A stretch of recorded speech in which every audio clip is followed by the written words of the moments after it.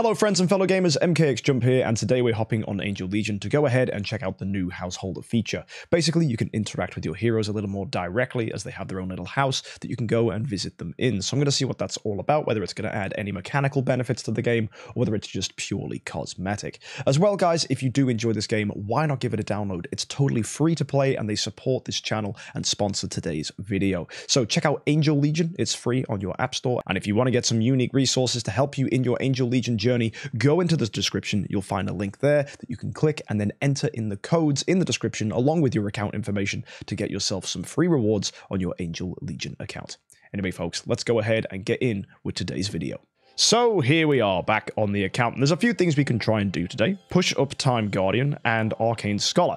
Because, as you see, they're both 5 star and could be taken up to the next tier level, which would be pretty good. As well, if I've got food, I could think about taking Mysterious Girl up, but that really depends on how many Maya shards we have. So if we go and check our genes, I really don't have that many. So we're probably going to have to push the Battlefield, I think, if we want to go ahead and get her higher. So that could be something we do today as well. Because the new hero we built, right, that Time Jumper has been absolutely absolutely fantastic. So let's go ahead and claim some rewards, claim our explore here. But before we do anything, like we just said, we're going to go ahead and check out this new home feature. So by going in here, we'll be able to interact with our hero and see what's going on. So here we are. There's Maya in her house, and it says goods. So, okay.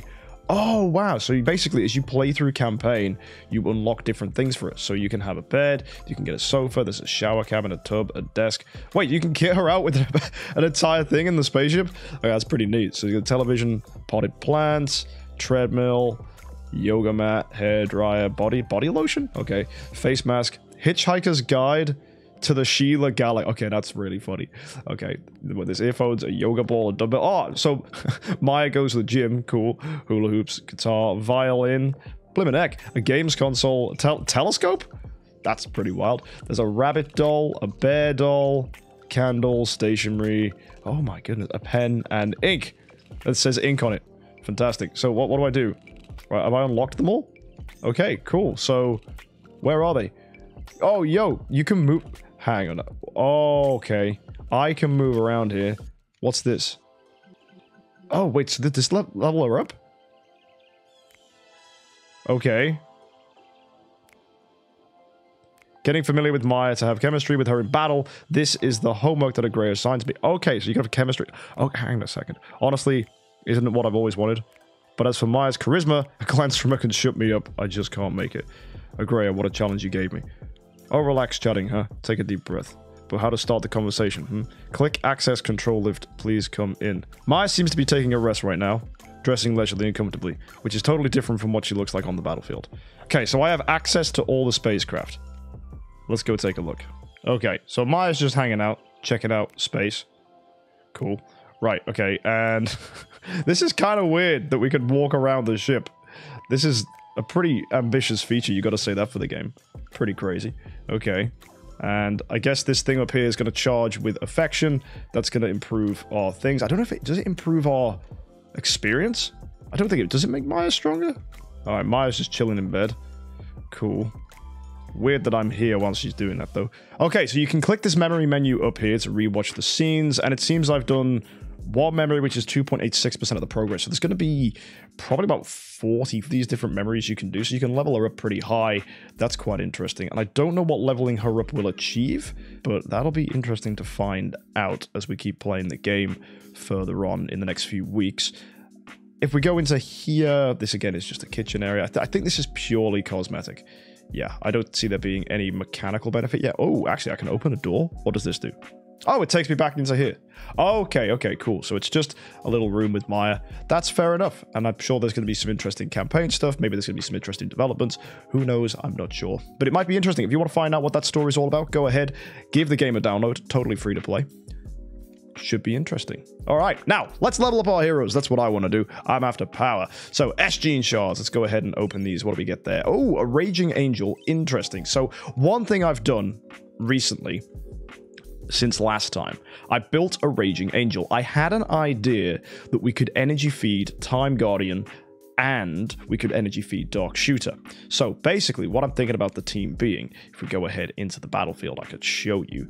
The idea I've had is that Raging Angel feeds energy to Time Guardian and Dark Shooter, with Arcane Scholar also feeding to Time Guardian, and then Time Jumper doing active skills when opponents are stunned. Raging Angel giving Dark Shooter and Time Guardian more active skills is only going to benefit the team because that means more enemies get stunned, which means Time Jumper will do more damage because she will guarantee the crit against stunned opponents. So to me, that's going to be pretty fun. So if we can, leveling up Raging Angel would be amazing. Same with Arcane Scholar. Now I know we can upgrade Arcane Scholar I think. I just need to go ahead and buy a copy of Swordmaster from the gene pool. So we're going to do that. She's in here now. And if we go to the cabin, we click advance, I'll be able to turn my time jumper copy. I'll be able to turn my arcane scholar copy into an upgraded one. Yeah, there we go. Nice. So just put these things in here. Advance. And there we go. SS Arcane Scholar. All right, so if we go to the menu now and evolve that, that is now a Silver Star Arcane Scholar, which is very nice. So we can upgrade her in the talent tree as well. Currently we're going with Formation. Eventually we want to give her Electronic Interference. So we're just going to start with Sniper Synchronization. And then I think we're just going to go with Dodge on Arcane Scholar. So we've upgraded the dodge. I don't have any more talent points to give to us, so we're just going to go ahead and save this. And then we're going to back out. And now we're going to see if we can upgrade this Raging Angel. Because I, I really like the idea of using her as an energy feed hero. I don't know why I didn't think of this sooner. It's... I mean, Raging Angel's a funny one. She's horizontal energy feed as opposed to vertical energy feed. So it's normally not that good. But I had this free slot in the front line and I was like, hmm, maybe this is going to be Raging Angel. That could be interesting. So yeah, let's go ahead and see what progress can be made here. So we're going to go stick in this Executioner, evolve up, and if we can, we're on for a win if we can get her to at least Silver Star today. So let's go ahead and try. So putting these in. Do we have any more fodder? I mean, there's a Storm Witch here. I, I worry that we're burning through this too much. What heroes do I need for SS Raging Angel? I think it's Punkatar. I'm going to double check. So if we go to Advance and I click on the Raging Angel copy that I've got sitting around, yeah, it's Punkatar. Okay. So we might just be able to take her up a little bit. Sure. Let's do that. Okay, so Evolve. Put in these. We're going to Shy Girl. Gonna go with... Ah, we got some Hell Scythes as well. Of course we do to evolve them. I got them back actually from destroying my Hell Scythe. I realized she was Gold Star, so why not just take it down to Silver Star because that's all you need for Pandora. So I was like, yep, I'm gonna do that. Now we put in the Storm Witch here. Uh, do we have any fodder heroes left? I don't think so. Well, we got this Magic Arrow, so I can take that up. And by looking at things now, I'm going to need three copies of food, and I don't think I have three food heroes left. No, so I could do some summons. We could try and get another S hero. I am actually going to try that. Here we go. We get one. That's all we need. That's another Raging Angel. You know what? I actually want to keep that. We need a fodder S hero, and right now Raging Angel is not fodder for me. Here we go. Final 10. Swordmaster. okay, that's fantastic for Arcane Scholar. That's really good. That's not what I needed, though. And yeah, actually, that's surprising. We didn't actually get a fodder hero. That's I don't know if that's a good thing or a bad thing. It's a thing. Very good. All right, you know what we can do then? Let's try the mining. There's the Country of Ores. It's only midweek, so I haven't got loads of these things. We can go ahead and try just summon something. No, didn't get any S heroes there. We'll try again. No, so it's just B heroes. So yeah, unfortunately, I'm not going to be able to take Raging Angel any higher, but what we can do is go and test out this team by heading into the battlefield. So let's put it in and see just how far we can do. And I'll play on auto mode. I'll let you see the team play out. Should be pretty fun. So let's bring it. All right, nice hit there. Time Guardian getting this true triple stun. That means we're going to get so much damage here from Time Jumper. Here we go. Oh, I love this active skill. Look at that damage. Oh, and they stun the back line as well. That's absolutely fantastic. Energy feed coming out there. We do get hit, but I don't think it's going to matter too much. And here we go. Dark Shooter hitting in with the stun. Time Guardian getting the stun as well. And a kill there too. Energy feed in. Oh, brilliant. Dark Shooter and Time Guardian getting energy fed there. Fantastic. As you can see, they're both on full energy. Arcane Scholar with even more energy feed. There's the snipe. And Ares is going to come in and get the finish. Absolutely fantastic. One really nice thing about this is when we fight boss waves, as you'll see here, there's three opponents. So that's the front line only, right? There's no back line. So we're absolutely going to hopefully stun lock them with this entire team. We've got Time Jumper who stuns, we've got Dark Shooter who stuns, we've got Time Guardian who stuns. It's, it's a ridiculous combo. A lot of damage coming out here. Really, really fun. There you go, Dark Shooter with the hit. Beautiful. More stun there. Fabulous. Here we go. Let's go. Stun time. Beautiful. And Ares. Ooh, not quite killing.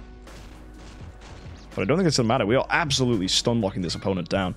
This is brilliant. Now, we do take a massive chunk there. I don't think it's going to matter. I think we should be able to kill them. Time Jumper should get a decent hit here. Oh, no, she didn't. Oh, man, we could be in a real bit of trouble here. I'm going to try use a laser beam to help us out.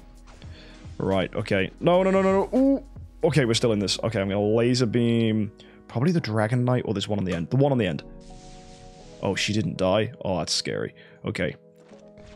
I think we're going to lose to this. No, we're still alive somehow. Okay, laser beam that one on the end. There we go. She's dead. Active skill better stun here. It didn't. Oh, and we died. That was a close fight, though. Let's go ahead and try again. This time, I'm going to bring some actual decent weapons with us. The radioactive bombs to go see if that's going to clutch the difference. So we're going to bring two of these, and let's fight. Here we go. Nice, good stun. I'm going to go back to auto mode. Oh, no stun coming there from Time Guardian. That's terrifying. Getting silenced on the Raging Angel. Oh my goodness me. That's not good. Stun coming out there. Nice. Triple stun. Beautiful job. More stun. Oh, I think we've lost this. Yeah, we can't win. When Maya dies, it's game over. So we need to absolutely stun lock these opponents to get the win. So come on, let's get this. Stunning again. Dark Shooter. Stun. Nice. I come on, Time Guardian. One stun. Okay, so we get the silence there from the Dragon Knight.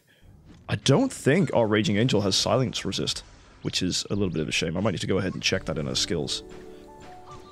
I may have made an oversight. I might not have even done a talent points, to be fair. Triple stun. Oh, so good. Fantastic there, Time Guardian. It's looking like we're fine here. Ares should get the execute on at least one of them. Yep. Nice. There's Dark Shooter. Beautiful stun. Even more of a stun. Oh my word. Yep. Here we go. Energy feeds coming out. Oh, we lost so many. Oh. That was horrendous. Oh, it breaks my heart. I don't think we can win this. Oh, wait, the radioactive bomb. It's risky, but it might work. Boom! Woo! Let's go. Secret trick to beating Battlefield. To use radioactive bombs. Real nice. That's that boss beaten. And the final thing we're going to do today, we're going to go ahead and check our Raging Angel to make sure that her talent points are done. Ah, they're not! There we go. That taught us something. Silence Resist has not been given to her which is very, very fair enough. So we're going to go ahead and save that in. And there you go. Thank you so much for tuning in, guys. It was good to show you a little bit of what to expect from that little homeowner feature. If you want to go ahead and try out that campaign mode with Maya, where you get to have a little bit more of a personal interaction with her on the downtime, rather than just using her in fights all the time. I think it's an interesting feature to give this game a bit more of a story to it, which stands it out from other idle games, which is pretty fun. So yeah, go ahead, check it out. It's free to download. I'll see you next time, folks and don't forget to subscribe. Until next time, happy idling.